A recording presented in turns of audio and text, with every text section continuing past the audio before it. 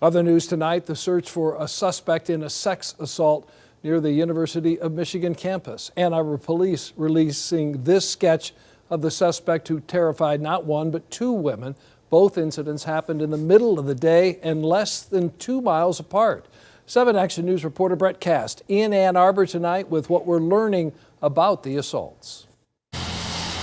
It was February 26, just at the start of U of M spring break, when a 22 year old woman was at this Plymouth Road bus stop near campus. Suddenly, a man in a white or silver four door sedan drove by, then reversed and got out. He allegedly groped her and tried pulling her into his vehicle. She got away, and now police are releasing the first image describing the suspect. No, I didn't know, and I live like right there, right like 20 feet away from the, the bus stop. Maya Baker is a U of M student. Her apartment complex is next to the bus stop and houses many students. That bus stop goes directly into Central, uh, goes to the CCCC, so it's everybody uses that bus stop all the time.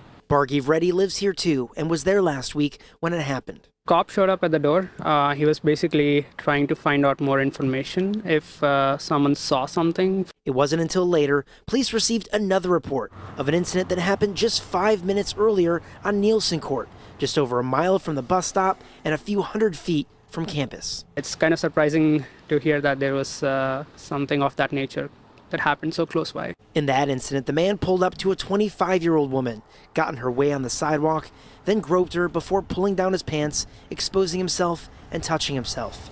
The young woman was also able to get away.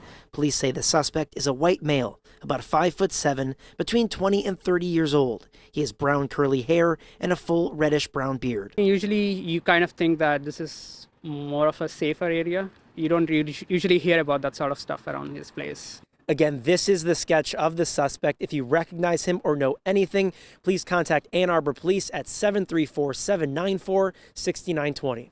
In Ann Arbor, I'm Brett Kast, 7 Action News.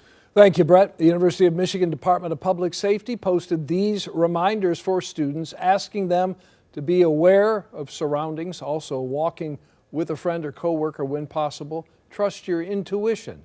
And if you see something, say something.